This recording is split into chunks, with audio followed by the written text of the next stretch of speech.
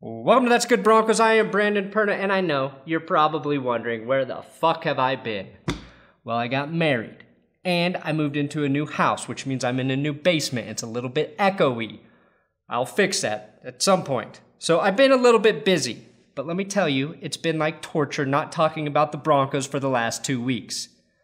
It's like at least nothing happened. Siemian named starter, Sanchez cut, Colquitt cut, Elway named to the competition committee, and a Demaryius Targaryen Twitter account was created. Well, that, it was actually created a year ago, but I just discovered it. Also, very important news. I need you to subscribe to my second channel, That's Good Broncos. This is That's Good Sports. I'm creating a second channel. It's called That's Good Broncos, and that's where all of the Broncos game reviews will be uploaded from now on. I know it sucks. You've already subscribed here. I'm still posting a ton of content here, but for the Broncos reviews and our safety, I have to do it on a different channel. There's a link in the description. It's called That's Good Broncos. It's not rocket science. Just please do it if you want to watch those videos.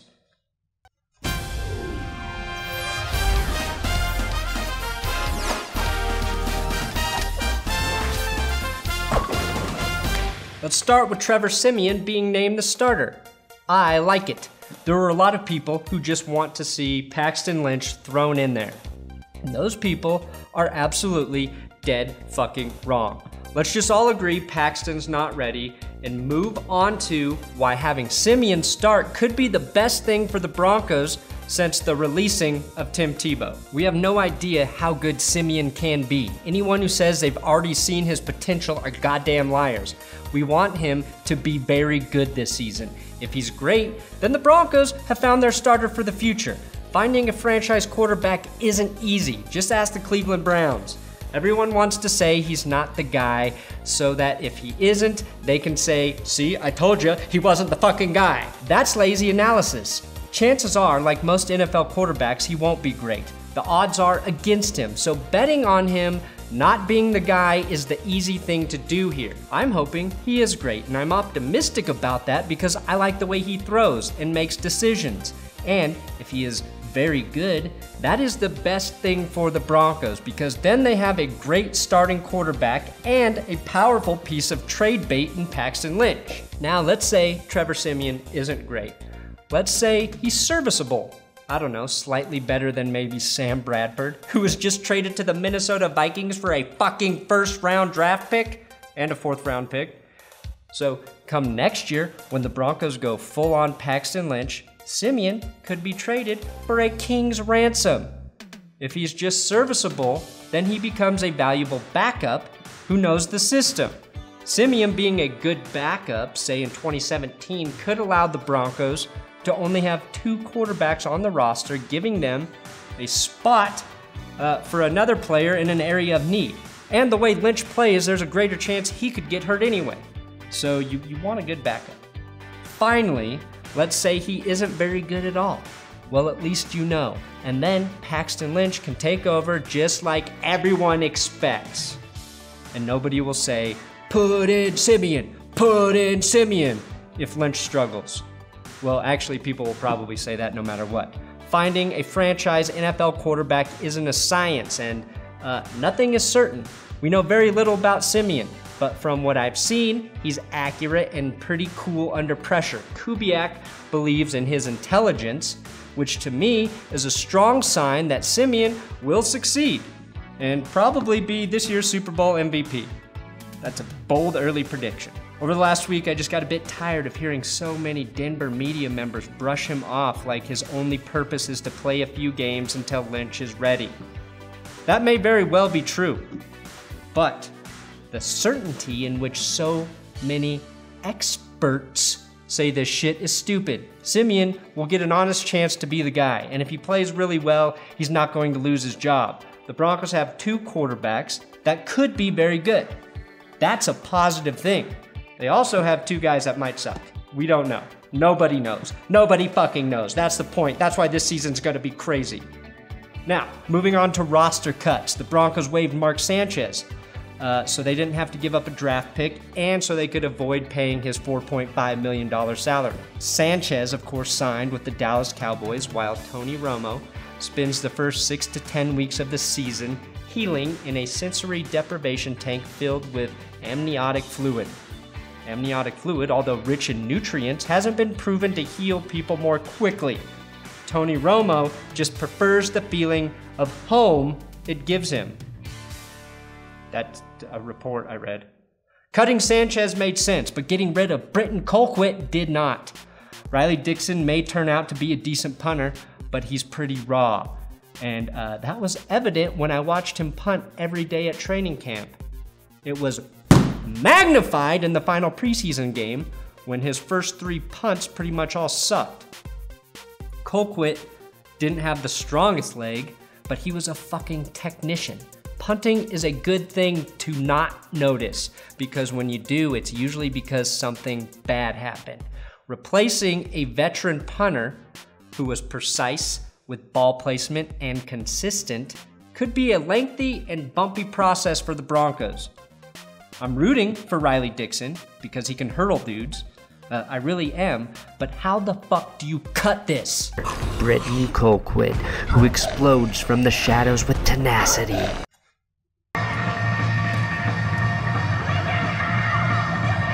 Not that anybody cares, but the Broncos also signed Austin Davis to be the third veteran quarterback on the roster.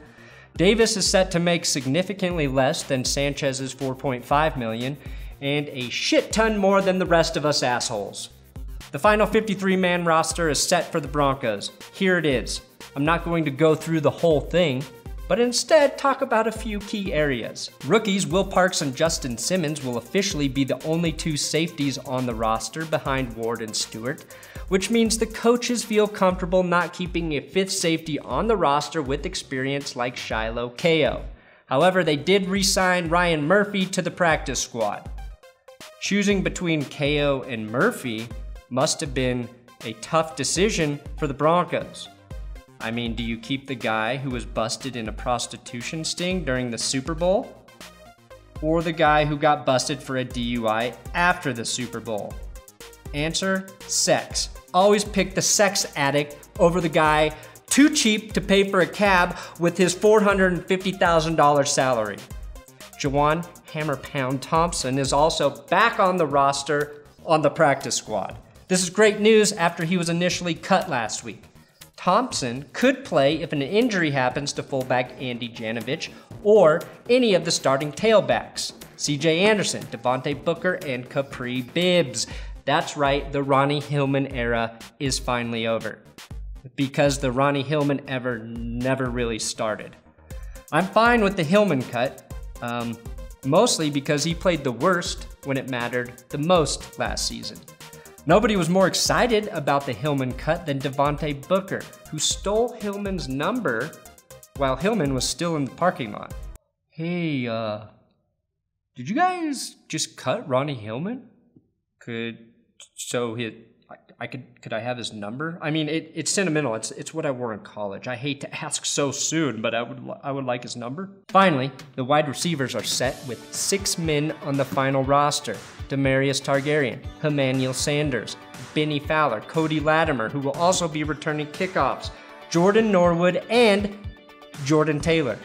You know him as Sunshine, which is a good nickname, but I think by the end of the season, we will collectively have come up with a better nickname for Jordan Taylor. So start start sending me ideas on Twitter. Taylor, in my opinion, played really well in the final preseason game. He broke tackles, getting those ever so important yaks. Yak! This is probably the deepest position uh, group for the Broncos, especially with guys like Kalif Raymond and Mose Frazier on the practice squad. Here's the thing the defense, as long as it stays healthy, should be just as dominant as it was last year. In fact, the outside linebacking corps is even better with the addition of Dekoda Watson, who had a hell of a preseason, and the development of Shane Ray. The no fly zone still hates planes or birds or whatever the fuck they refuse to let fly, and John Elway has denied that the team was shopping Aqib Talib. I also predict Derek Wolfe will have his best season of all time this year. The areas of concern are the offensive line and the quarterback position and the depth behind Virgil Green at the tight end spot. This is basically the exact same problem the Broncos had last year. But at this time last year, none of us were worried because Peyton Manning was still on the roster. Manning was the warm, ever so warm security blanket that made us all super confident that the Broncos would be a Super Bowl contender every year. That blanket is gone, but it's been replaced by one of the best defenses in the NFL. I'm not sold on the idea that Siemian or Lynch can be great if this offensive line doesn't perform as a cohesive unit. A rookie quarterback with a shitty O line is a disaster waiting to happen.